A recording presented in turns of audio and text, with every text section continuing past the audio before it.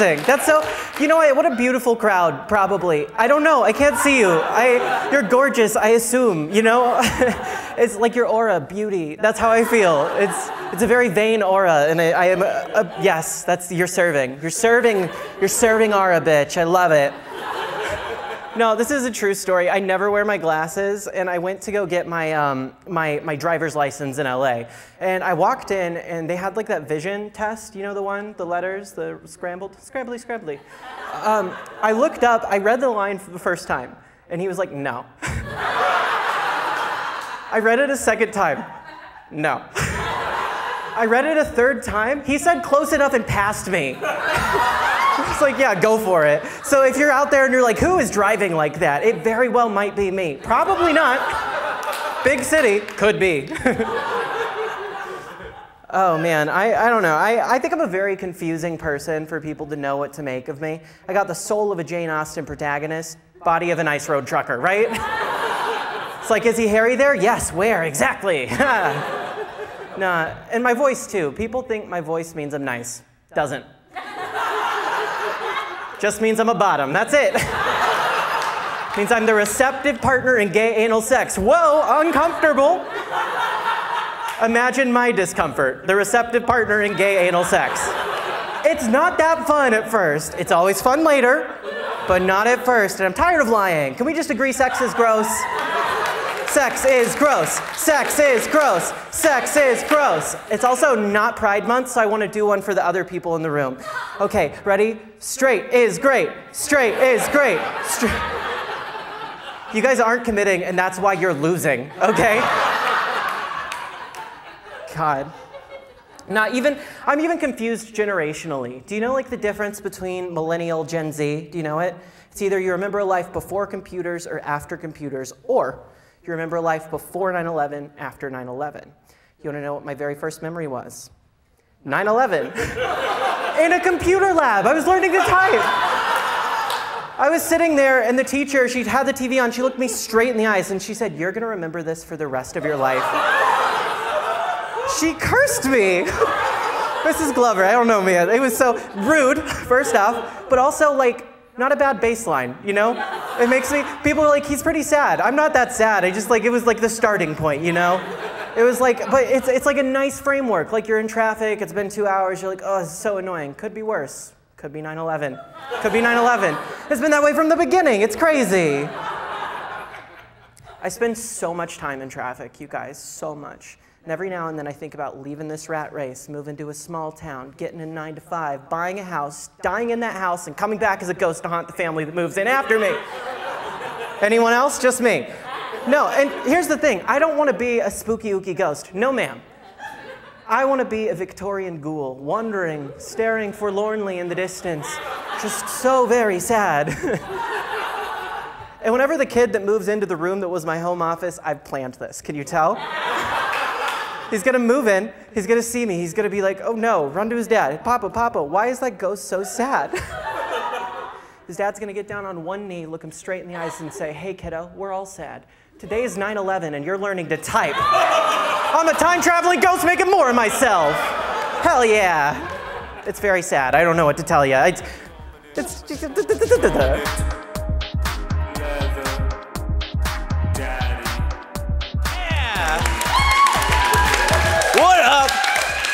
My name is Dominic, but you can call me Sir.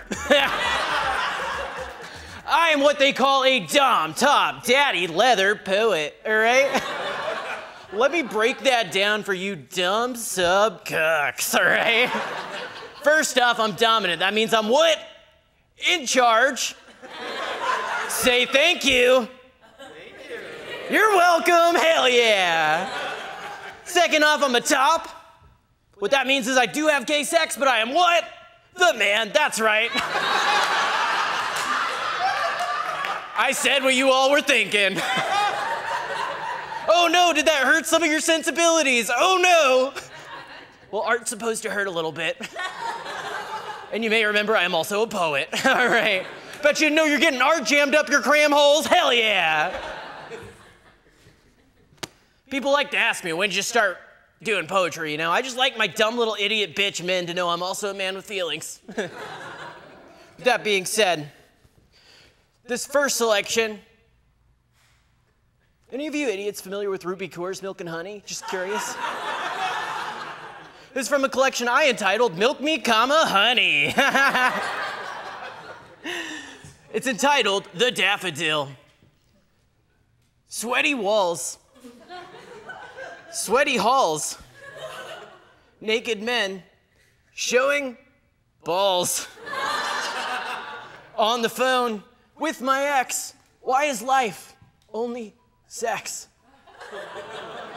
When I was five, seek and find, nothing to hide, feel alive. The daffodil, hell yeah! Say thank you. thank you. You're welcome! Sometimes that voice in my head when I'm writing poetry that calls me a dumb little bitch, I like to think it's my father. It's the only time we speak. This next one is, a, is another collection, of course. I don't know if you are familiar with Walt Whitman's Song of Myself. Idiots.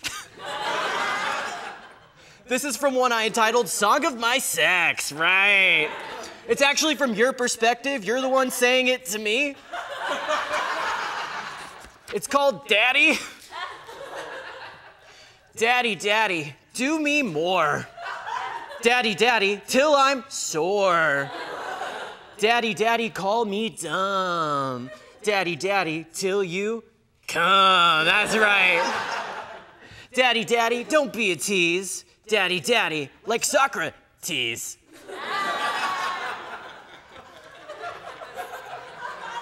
Daddy, daddy, call me son. Daddy, daddy, like Ralph Waldo Emerson. Daddy, daddy, please be thorough. Daddy, daddy, like Sir David Walter Thoreau, right? Daddy, daddy, I am lost. Daddy, daddy, don't know the cost. Daddy, daddy, cause me pain. Daddy, daddy, I deserve shame. Yeah. Yeah, you do. That's the end of that one. Hell yeah. yeah. Say thank you. Thank you. You're Gotta be honest with you guys, I'm feeling a little overdressed. Still overdressed.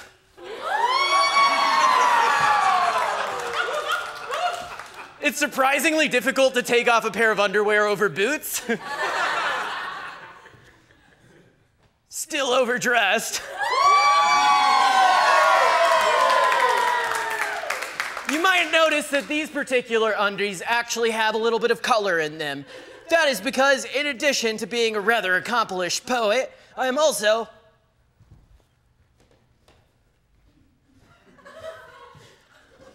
a rather accomplished painter. Please allow me to read you a poem, recite rather. Even daddy fucks up sometimes.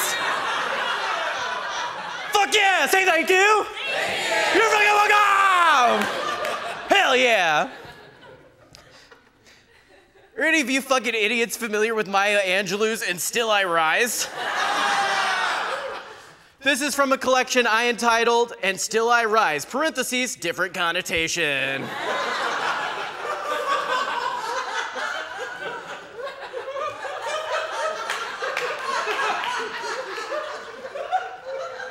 Lovely, lonely me met lonely, lovely you, and all our loneliness together sprouted lovely too. And then I fucked your throat. It's a dick. You're fucking welcome! Anyone want this? I'll dead ass give it away right now. Hell yeah! Frame that shit. If anyone wants to find me after the show, I'll be signing some douches. If you want to save it, maybe it'll be worth something someday. If you want to use it, maybe you'll be worth something tonight. Now, I, uh, I'm originally from a very small town in the South. My dad is a pastor, which makes me a stereotype baby. Yeah. You've seen those movies? They are sad. I am not. I just, you know, just don't be. I think I got the voice of an Eeyore spirit of a Tigger, you know? No, I was actually even a middle school pastor myself for a while, if you can believe it. I was. I was a middle school pastor. I trained the bigots of tomorrow. That was me. You're welcome. And I did such a good job. 99% of them, beautiful people. Love watching them grow up from afar. 1% send me text messages saying, it takes a lot to live in sin like that. and you know what? They're right. So thanks for acknowledging. no, I, I, am still pretty close with my folks. Um, I, I love my mom. I call, was on the phone with her. I accidentally said damn in front of her, which I think is the lowest of the cuss words. I don't know. We can rank them later. Come and find me. I said damn, and she said, Ryan, I don't like when you cuss. That's what she says. She doesn't say curse, cuss. No hard R, cuss. She was like, Ryan, I'm worried about what's coming out of your mouth. And I was like, well, if you're worried about what's coming out, I'm not gonna finish it because that's rude. She's my mother. No, it's so mean. I should not be using that, that, but I love it. I love it. Here's the thing. Here's the thing. They paid for my cell phone bill for years. Blood money. I used it to cuss. no, I, I am actually still Christian. Weekends, holidays, STD tests. You gotta be. It's scary. Ah, you know? Credit score checks. Father God Almighty. Ooh. but I've since uh, adopted this LA religion we all share. Like, I got a psychic. Her name's Tanya. Shout out Tanya. She'll know if I don't. The third eye, it's real. and I love astrology. Any astrology heads in the house? Hell yeah, I am too. Get this, I'm done dating Leos. No more Leos. Moving on to Marcoses, Bradleys, Jorge's, Jose's. Tossing a Kimberly. I'll try it again. I'm Aquarius. We're open. Uh, people sometimes like to toss the Bible at me. I know it better than they do, so I like to grab it, whoo, toss it right back. You guys want to hear what my favorite Bible verse is? Yes, okay. Deuteronomy 25, 11 through 12. When two men are engaged in fisticuffs, one of their wives shall not grab the testicles of the opposing player, elsewise her hand shall be removed. Show her no mercy. That's real, down to the no mercy part. That means that back in the day, there were these two dudes rustling, right? One of their wives walked up and just like, and he went, ow, that hurt. Cut off her hand. And someone went, Whoa, dude, maybe we shouldn't. And someone else went, No, do it. No mercy. And then they did it. And then they were like, Oh my God, this keeps happening. We gotta write it down somewhere. And then they did, in the book that got reprinted the most, and I taught it to middle schoolers. You're welcome. Fuck me hard. Oh my god, you cunty little bitchy little slutty little fuck. oh my god, I fucking love you. I love you so much, I fucking despise you. You know what I mean? Like, you're that crap on the ground in New York City and it's like sludgy and you're like, why the fuck is it that color?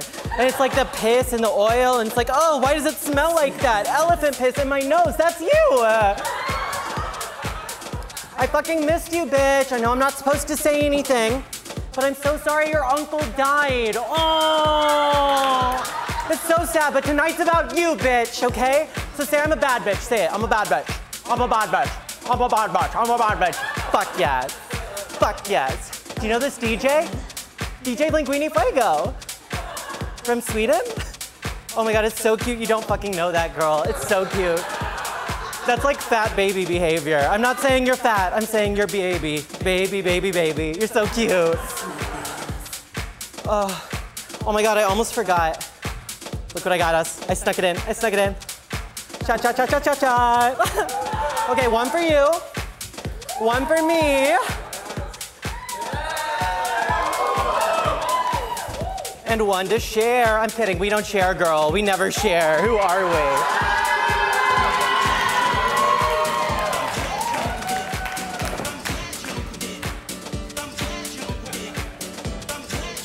Sorry, is the song saying I'm glad your uncle is dead?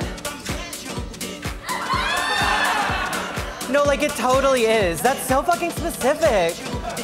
Did you ask for this? Oh my god, do you know the DJ? Oh my god, does the DJ hate you?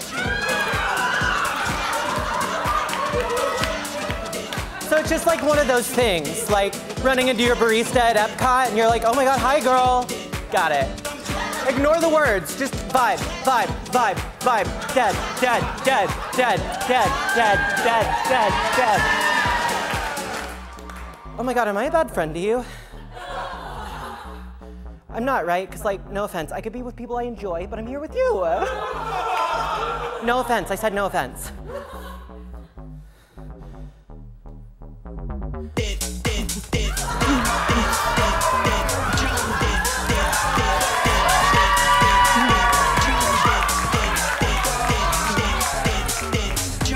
Totally rolling, yeah. I found some white stuff on the ground, took it.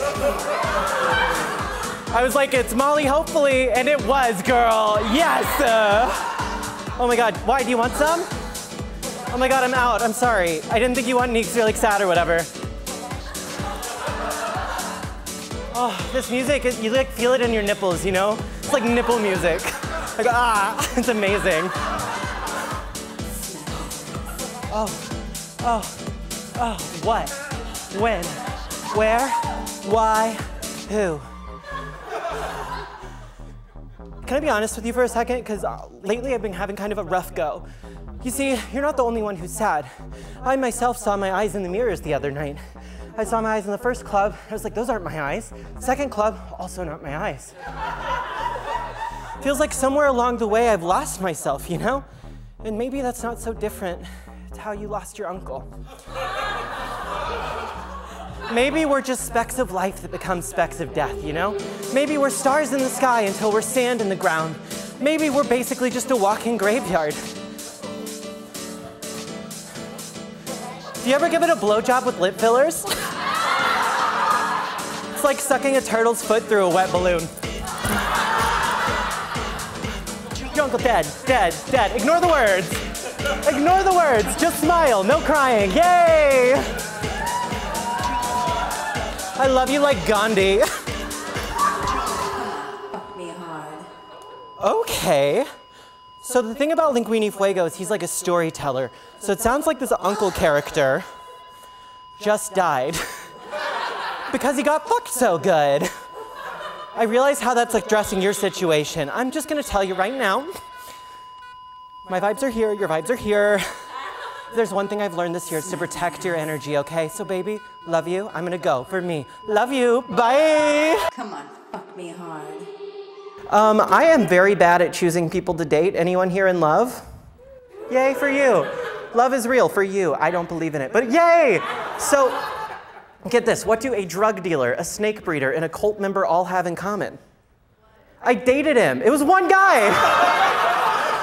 he was also a felon. Yeah. Here's how that one ended. I got a call at 3 a.m. He said, Hey, Ryan, I'm going to Tijuana. Want to join? I said no, and then he hung up on me. And I've never heard from him since. So when I'm out here at shows, I don't care if you laugh. I'm just looking for Tom. Let me know if you see him, please. No, I, um, I, I am a very superstitious person as established, right? Very superstitious. And my biggest superstition is that whatever's happening on New Year's Eve will affect the rest of your year, the 31st through the 1st. So I like to plan it out. The 31st, I was like, let me take an adventure. I have a crush on a boy. He invites me on a trip. So far, so good. With his friends. So far, so bad. Anyway, I get there. Long story short, the details aren't interesting. Cocaine gets involved. I'm not a cocaine fan personally. Makes me too happy. I don't trust it. I swear to God, I just need my joy cut with a little bit of sorrow. And it's just like, okay, this is safer. I don't know what to say. But cocaine gets involved, other drugs get involved, and as the clock strikes midnight, I am calming them down in the bathtub, calming them down, going, shh, baby, shh, baby, shh, shh, shh. It wasn't like a, ooh, shh, baby, shh. No, it was shh, baby, shh, baby. I was giving a cocaine bath. What does that mean for the rest of my year? I need to know, because it's coming. Bizarrely, not my worst bathtub drama. Can you believe that? The year 2022, the location Coachella. I'm chilling. My best friend Molly, her best friend Ritalin, AL, right? I'm there, and uh, they're doing like a, like a test before one of the shows, and there's this big iceberg on the screen. And without thinking, I tell my buddy Mike, who I'm standing next to, I'm like, well, it is Titanic weekend. Do we know what Titanic weekend is? Feels like one person might, which is cool. It's not the anniversary of the Titanic, which you may have guessed. Titanic weekend is where you get uh, invited by, uh, well, you're dating someone a decade and a half older than you. He invites you over to his house. He says he's got something special planned, Titanic weekend. When you enter, and he's redecorated his apartment to look like the cabin on the Titanic. Titanic weekend? He gives you period appropriate clothing to wear. You're. You're gonna be a supportive boyfriend. You've never had a boyfriend before. Why not, you know? So you start walking around looking like a newsie. Titanic weekend. No, just me. So, so, so you go in. He is, he has prepared the meal that they served the night the Titanic went down. The music is playing that they found based on the sheet music that went down with the Titanic. Titanic weekend. I'm starting to think I'm the only one that's been through this. he sets a timer. You say, "What's that for?" He says, "Don't worry about it." Titanic weekend. The timer goes off. he says, right this way. He takes you to the bathroom. He's filled the bathtub with ice and ocean water. The man lives in Hollywood. That's not near the ocean. He had to drive all the way out, fill a bucket with uh, ocean water, walk it up three flights of stairs. His elevator was broken. Dump it in and dump it in ice. Titanic weekend. Am I the only one who's been in love? He says, get in. And you're like, okay, can I take my clothes off? He goes, no, they couldn't. Which caused an issue in my brain because it's like, could they not though? Because like it took a while. So maybe there were different camps, you know? Like maybe there was one camp who was like, let's get it off. One was like, no, let's leave it on. I don't know. But it was like a shirts and skin situation maybe. And I was shirts all the way. So I got in. I got in. I did. Anyway, uh, he times me in the bathtub. I eventually get out. He says, anyway, uh, wanna fuck? I say no. And then eventually we still do, because I am a good boyfriend. I will be a good boyfriend. We dated for two years after this. I didn't say I was good at dating. My ex told me I talked too much like a woman. Big words coming from a guy who talks like a fucking idiot, am I right? Fuck that guy. Absolutely not. Um, I, uh, I don't know. When I was growing up, there was this religious movement called He is Greater Than I. The he was capitalized, the I was lowercase. And the he was all about making God this big, huge thing, bigger than you, sucking up all the air. Lowercase i, that was you. How small can you be? How worthless and tiny can you be? You know? That was what it was. A lowercase i, super messed up. It's wrong grammar, right? if there's one thing God likes, it's rules. Right off the bat, the boy made 10 of them. He handed them down to his guy, Moses. He was like, Yo, Moses, these are the Ten Commandments. Take them down to your boys, the Israelites. And then he did. And if you read them in the modern context, it really sounds like a child teaching you to play hide and go seek. Let me explain. Number one, I get to make the rules. Number one. Number two, nobody else gets to make any rules. It's like, okay, girl, we heard you the first time. Number three is nobody says anything bad about me. Which I figured based on one and two, sure. Okay. Number four, when I want to take a break, we take a break. Number five, also, mom and dad still in charge. He doesn't get to murder till number six, you guys. Number six is murder, and I'm no creator of the universe, but if I was making a list, I feel like murder would be at least two or three. Yeah. But I, number 10 is my favorite. Don't be a jealous hoe. Don't be a jealous hoe. Don't be a jealous hoe. No. That's what God says. Uh uh no jealousy. I love it. But no, I was so good at learning how to be so small and being that lowercase i that I lost complete track of myself. In my 20s, I flailed. I tried everything. And there are just so many voices you can listen to, right? The great journey of my adult life has been learning to capitalize the I, to formulate a version of myself that I can stand to be in love. An impossible task, one that changes constantly. I try out different fonts still, to this day, you know? Never do wingdings. but it, it's, it's just been a long process to learn. When I have a problem, I like to look to the past. Our ancestors had this thing called MySpace. Where you could only choose eight people to care about. Eight, that's it. You could list them, you could rank them, that's it. It's so freeing. Seriously, there's so many voices. You've got Instagram, you've got Facebook, you've got people to talk to walking down the street, you know? This is a city of millions. Your phone listens to you. If you talk about ramen, it shows you a ramen ad. Crazy. I make a manual list every week of eight people I give a shit about. and I encourage every single one of you to do the same. Only two things have stayed the same on this list. Number one, Billie Eilish. Current pop star, future philosopher, okay? Number two, a capital I. Aw, okay, thank you. okay, I'll take it. no, I, I think the big part of that capitalizing has been me learning the difference between kindness and niceness. And a big difference is you can kindly tell someone to fuck off. So, with that being said, thank you all so much for being here. I appreciate the hell out of you. Love. Fuck off.